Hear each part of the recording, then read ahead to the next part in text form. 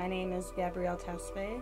I'm an interdisciplinary artist, versed in painting, filmmaking, animation, and um, interactive installation. Well, I found art at a very um, early time in my life. I began doing art when I was um, a kid. And art is something that I always did my entire life. And when I was young and I found out people do art as an actual career, it was a no-brainer what I would be doing for the rest of my art my life. Art is a way for me to express myself and art is a tool to storytell and to inform people and to heal people through filmmaking, through painting.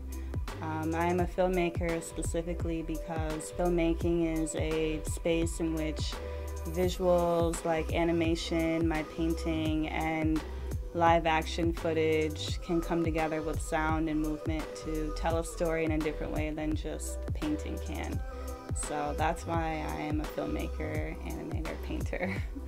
um, I make work specifically geared towards um, the African diaspora and telling stories about my Jamaican heritage, my Ethiopian heritage, um, and my personal identity throughout those different worlds that I've grown up in and my culture are all things I'm passionate about and why I choose to do art.